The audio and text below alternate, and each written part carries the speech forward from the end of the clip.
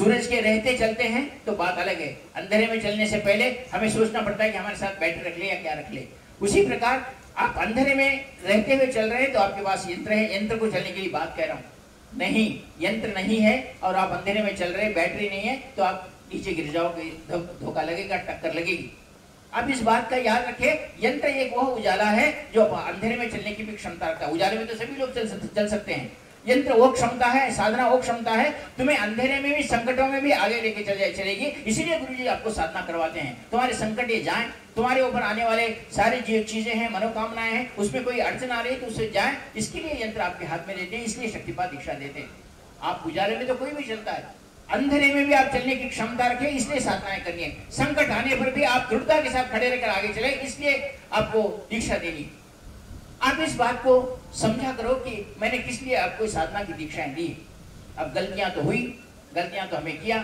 स्वामी निखिलेश्वर जी ने तो जैसे आप पहाड़ के ऊपर से कूदने को कहा, अगर मैं आप सभी में कहूँ, जिन्होंने गलती से दीक्षा ली है, आप एक बार सब जाके पहाड़ के ऊपर से कूदो तो आप दूसरे दिन यहाँ नहीं दिखेंगे। गुरु जी, पहाड़ के ऊपर से आप दीक्षा नहीं ले, आपकी दीक्षा आप वापस ले लो, गुरु जी, हम पहाड़ पे से तो नहीं कूदेंगे। ये बोलने के लिए भी कमी नहीं करोगे। क्यों? कि आप उसके उसके प्रति आपका समर्पण ही नहीं, उसके बारे में आप सोचेंगे ही नहीं।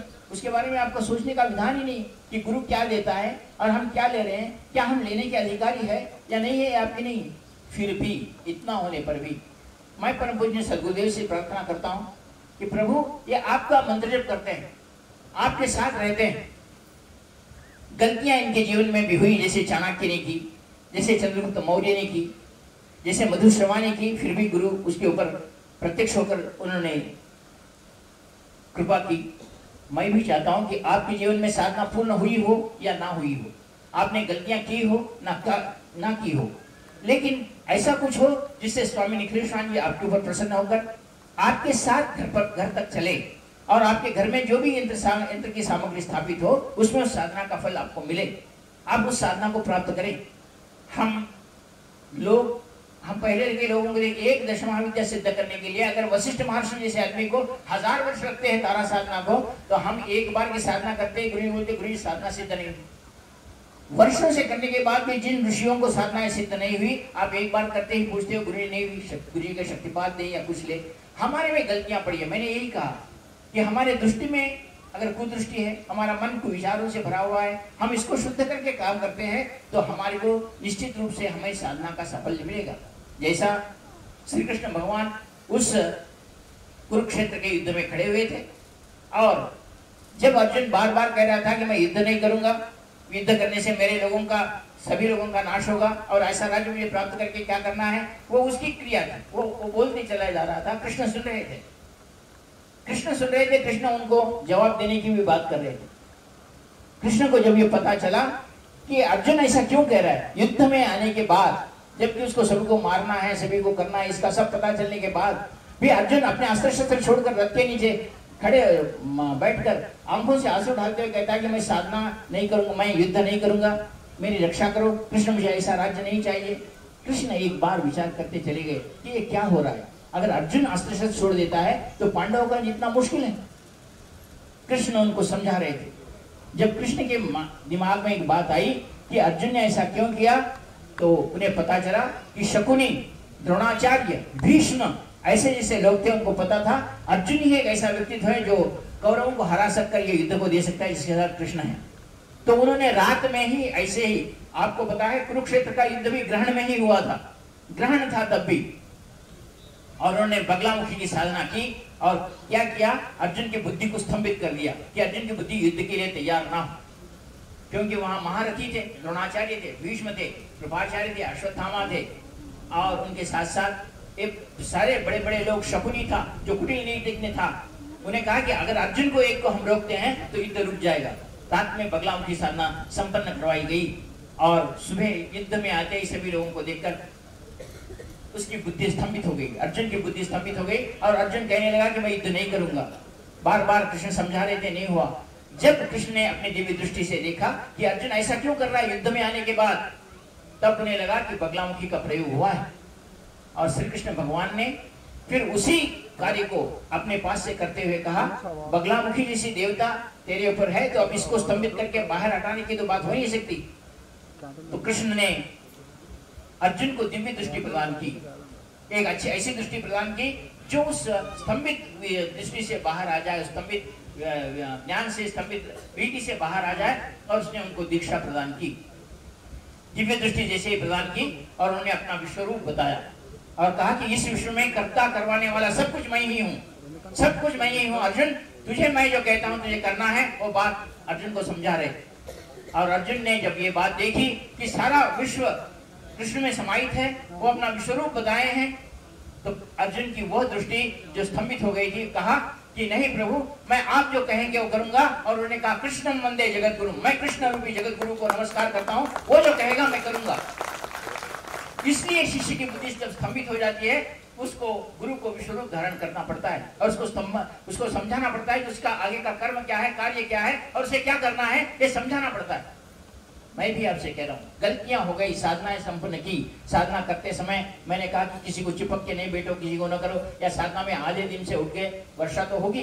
अगर उन महान भावों में जिनने तपस्या की, जितने भी ऋषि हुए, राक्षस हुए, जो भी तपस्या किए हैं, आपने सभी को देखा है, इंद्र भगवान ने उनकी तपस्या में विघ्न डाले हैं। वर्षा के रूप में, तूफ़ान के रूप में, धूप के रूप में, अग्नि के रूप में सांभों के रूप में, राक्षसों के रूप में और आखिर में अप्सराओं के रूप में। अप्सरा आई और उनका, उनकी तपस्या भंग कर दी गई। हमें तो कल एक छोटा सा चुनुक हुआ, वर्षा हुई, इतनी ही तपस्या भंग हुई। हम इतनी तपस्या के लिए भागे या बैठे या अपनी बात। साधना जब कर रहे हो, स्वामी निखिलेश्वर जैसे गुरु है और उनके मंत्र की उनका मंत्र का जाप कर रहे हो तो निश्चित रूप से सभी को ईर्ष्या होगी ही होगी। ये दुरुस्त रहकर साधना कर रहे हैं, इनमें विघ्न डालो और वो लोग वर्षा करेंगे कि आप उठ के चले जाए। आप साधना संपन्न ना करें। लेकिन जिन्होंने भी की है, वो जानते हैं कि ये भी स्वामी निखिलेश्वर जी के शिष्य है और ये हारने वाले नहीं ये भी साधना संपन्न करेंगे। लेकिन हमारे से गलतियाँ ज़रूर हुई जिस तरह होना चाहिए। हम जिस तरह साधना करनी चाहिए, हम नहीं करें। और आशा करते हैं कि हमें इस साधना में सफलता मिले। तो हमें भी गुरु जी का वो विश्वरूप दिखे, हमारी गलतियों को गुरु जी क्षमा करे। हम जैसे गुरु जी हमें मार्गदर्शन करें कि हम जहाँ घर में जाए, हम हमारी साधना की सफलता को हमारे घर, हमारे साथ ले जाएँ। इसके लिए क्या करना चाहिए? इसके लिए करना चाहिए स्वामी निखिलेश्वर जी की कृपा प्राप्त करनी चाहिए। स्वामी निखिलेश्वर जी की कृपा किस तरह प्राप्त हो कि हमने गलतियाँ की है? आपके हृदय पर आप हाथ रखकर कहो कि आपने गलतियाँ नहीं की है। मैं स्वयं कहता हूँ तो आपको कुछ करना नहीं है। और नहीं है तो आप स्वामी निखिलेश्वर जी की कृपा प्राप्त करें। गलतियाँ तो मैं आपको साधना करवाया हूँ। स्वामी निखिलेश्वर जी वहाँ से देख रहे हैं और उस गलती का एक भागीदार मैं भी क्योंकि आपने मैंने साधना करवाई है, आप बीच से उठे, साधना ठीक तरीके से किए, नहीं किए आपकी मर्ज़ी, लेकिन भागीदार मैं भी हूँ और साधना करना, करने में जो गलतियाँ हुई, उसका भाग आप में भी है। हम इस भाग से हटकर, हम तो चाहते हैं कि हमारे हमें फल मिले। हम जो जो जो भी साधनाएँ किए हैं, उसका फल हमें मिले। हम सभी की इच्छा होती है, साधना का फल मिले।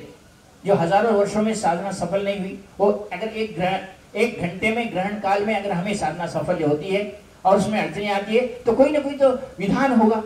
उनको तपस्या में उतने विघ्न आते हैं तो हमारे में भी विघ्न आए हैं। हमने विघ्न में कहाँ तक साधना की? ये भी हो सकता है, और साधना संपन्न हुई, ये भी हो सकता है। मैं आज गुरु पूर्णिमा के दिन मधुश्रवा को, जो परम पूज्य सदगुरुदेव जी ने मंत्र देकर उसको दिव्यानंद के नाम से दिव्याश्रम की स्थापना की थी, वह मंत्र जो चाणक्य को उनके गुरु ने दी थी जिससे गलतियों का प्रायश्चित करना पड़ा। ऐसे ही मंत्र जब को हम स्वामी निखिलेश्वर जी की शरणों में प्रार्थना करते हुए अगर करते हैं तो मैं कहता हूँ कि तुम्हारी गलतियों का पश्चाताप होगा। तुमने जो गलतियाँ की है, गुरु को किसी प्रकार से क्रोध आने की बात किसी ने भी की हो। गुरु रुष्ट हो गया है तो सारा संसार रुष्ट हो गया। देवता भी उसको मना नहीं सकते। लेकिन गुरु की प्रसन्नता के लिए हमें कुछ कार्य करना मैं चाहता हूँ कि आपके साथ कुछ ना कुछ हो। तो उस प्रसन्नता के लिए आपको मैं कहता हूँ कभी, अरे मत आओ यार, थोड़ी देर बैठो, थोड़ी देर रुक जाओ, लेकिन आप नहीं सुनते। कुछ ना कुछ मारे निकाल कर आप ऊपर आते हैं, नमस्कार करते हैं। गुरु जी ने तुम्हें नियम से बुलाया है, तुम्हें कहता है कि मैं समय देता हूँ, तुम आकर मुझे नमस्कार कर दिया लेकिन आप सुनते नहीं ना। आपको चाहिए कि गुरु चरणों में एक बार अपना सर रख के हम जाए ही जाए। तो गुरु को तब कोई अग्रष्ट हो गया गुरु जी कुछ कह ही दिया, कहा कि भाई तुम क्यों आ रहे हो? तो तुम्हें बुरा लगता है। लेकिन गुरु जी क्या कहते हैं कि मेरी आज्ञा का पालन नहीं हुआ। तुम्हें ये बात मैं बार बार कह रहा था। तुमने बहुत कुछ किया होगा, लेकिन एक आज्ञा है। और उस आज्ञा का पालन करना तुम्हारा कर्तव्य है। ये छोटी सी गलती भी गुरु का रुष्ट होना भी गलती हो सकती है। इसलिए आप इन सभी चीज़ों को करते हुए गुरु जी का अभिषेक करते समय या गुरु जी की दीक्षा लेते समय गुरु जी के पास आते समय गुरु जी के यंत्र लेते समय गुरु जी के यंत्र की साधना करते समय शक्तिपात दीक्षा लेते समय क्रम में आने के समय हमारे साथ गलतियाँ होती ही। और गलतियाँ होती है तो हम उन, उन चीज़ों को सुधारना चाहिए। हमारे जीवन में कुछ न कुछ एक विद्वत्ता होनी चाहिए। और आज हम परम पूज्य सदगुरुदेव स्वामी निखिलेश्वर जी की कृपा से गुरु पूर्णिमा कर रहे हैं और ये स्वामी निखिल जी की गुरु पूर्णिमा है। डॉक्टर नारायण श्रीमान जी परम पूज्य सदगुरुदेव जी माता भगवती की गुरु पूर्णिमा है। हम सब उनके सेवक हैं, उनके शिष्य हैं और उनकी कृपा के अभिलाषी हैं। उनकी कृपा हमें बार बार मिले, यह हम इच्छा चाहते हैं। हम चाहते हैं कि ऐसा हो। इसलिए मैं आपसे कहता हूँ कि ऐसी गलतियाँ आपके जीवन में हुई है। तो एक जो विशिष्ट मंत्र मधुश्रवा को परम पुण्य सदगुरुदेव जी ने देकर कहा था कि तेरी गलतियों को क्षमा करते हुए उन्होंने उनको दिव्यानंद नाम का नाम देकर अपने आत्मीय शिष्य के रूप में लेकर दिव्यानंद की दिव्याश्रम को परम पुण्य सदगुरुदेव जी ने छह एकड़ पे स्थापना की है, वो भी पहाड़ पर, और वहाँ आज भी दिव्यानंद संचालित कर रहा है। तो कितना कृपा पात्र हुआ होगा जिसने अपने गलतियों को, गलतियों की क्षमा चाहकर गुरु से अपने गलतियों की क्षमा। मैं बहुत सारे लोगों को कहता हूँ कि तुम गुरु पूर्णिमा के दिन आए। लेकिन हम बातें बता, बनाते हैं। मैं बार बार कहता हूँ, तुम्हें दो बार ही बुलाता हूँ। एक बार गुरु जन्म दिवस को और एक दूसरी बार गुरु पूर्णिमा को। बाद के दिनों में जो इच्छा है, आपकी इच्छा से आते हैं, मेरी। मेरी इच्छाएँ केवल यही है, आप गुरु जन्म दिवस और गुरु पूर्णिमा इन दोनों को छोड़कर मत आओ। बहुत सारे लोग आँखों में आँसू लाते हैं। बहुत लोग कहते हैं, गुरु जी, हम हमारे पर समर्पित है। गुरु पूर्णिमा को क्यों नहीं आए? कारण बताते हैं। कुछ न कुछ। ऑफ़िस था, बास निकालियाँ दी, बच्ची बीमार थी, मैं बीमार था, बुखार था, वो था। आप, आपके कारण आपको है। लेकिन इन कारणों के वश क्या गुरु पूर्णिमा छोड़ी जाती है? गुरु पूर्णिमा साल में एक बार क्या उस दिन एक दिन की कृपा तुम्हारे जीवन भर में काम कर सकती है। ये बात आप जानते हैं। मैं आपसे कहता हूँ, ऐसी गलतियाँ अपने जीवन में होती है। गुरु पूर्णिमा के दिन गुरुमंडल जागृत रहता है और गुरुमंडल जागृत रहता है तो वो ये देखता है कि कौन गुरु चरणों में पहुँचा और उसके ऊपर कितना करते हुए सबको क्या कर वो गुरु चरणों में आया हुआ है। यह गुरु जी देखते हैं, केवल आपको आना है। बाद में तो गुरु जी संभाल लेते हैं, आपको क्या करना है? आज वही बात कह रहा हूँ। आज आपको यही बात कह रहा हूँ, आपको मालूम रहकर, मैं मालूम रहकर आपने गलतियाँ की है तो उस गलतियों को जैसे प्रकाश स्वामी निखेशान जी मधुश्रवा को कहते हुए, एक कीर्तिवान मनुष्य यशस्वीवान मनुष्य आज कम से कम उस दिव्यानंद की आयु कोई साल, सौ, सवा सौ साल होगी। ऐसा व्यक्ति तो आज भी आश्रम चला रहा है तो एक सामान्य शिष्य को लेकर भी उन्होंने उतनी बड़ी दीक्षा देकर उनको महान बनाया है। जो दशमाविद्याओं के पार गुरु के कृपा से होकर आज दिव्यानंद दिव्याश्रम को चला रहा है, ऐसी क्षमता आप में भी हो, ऐसी शक्ति आप में भी हो। इसलिए मैं कहता हूँ कि वह निखिलेश्वरान जी का जब जो आपने गुरु जी ने मधुश्रवा को दिया था, वो आपको मैं आज देकर कृतार्थ करना चाहता हूँ कि आपके जीवन में गलतियाँ हो गई हो तो होने दो। जो हुई हुआ, लेकिन आज आप निखिलेश्वर जी की कृपा प्राप्त करके ही जाएँगे और निखिलेश्वर जी को अपने साथ लेके जाएँगे, अपने साधनाओं की सफलता आपके साथ ले जाएँगे। मैं आपको आशीर्वाद देता हूँ कि जिन गलतियों को आप फिर दोहराना नहीं चाहते, वो दोहराए नहीं। और स्वामी निखिलेश्वर जी का मंत्र करते हुए आप यहाँ से उस साधनाओं को, जो साधनाएँ आज आपने तीन दिनों में की है, उन साधनाओं को लेकर निखिलेश्वर जी की कृपा लेकर आप आगे बढ़ेंगे। ऐसी ही साधना अभी मैं आपको देकर आप सभी को रवाना कर देता हूँ। समापन का दिवस है। मुझे भी दुख है कि आप सभी लोग बहुत दूर से आए, अपने काम धंधों को छोड़कर आए, अपने परिवारजनों को छोड़कर आए। आप आपके सभी चीज़ों को त्याग कर आप यहाँ आए हैं तो मेरा कर्तव्य बनता है कि आपको खाली हाथ ना भेजूं। आपकी गलतियों को क्षमा करूँ। आपके गलतियों को क्षमा करते हुए आपको उन साधनाओं का फल देकर भेजूं। और स्वामी निखिलेश्वर से प्रार्थना करूँ कि प्रभु, हम सब पर आपकी कृपा दृष्टि बने रहे। हम ऐसे ही साधना में आए, साधनाएँ करते रहें और साधनाओं का फल हमें प्राप्त हो। हम जीवन में असमर्थ ना जिए। मैं बार बार कहता हूँ, हम जीवन में असमर्थ ना जिए।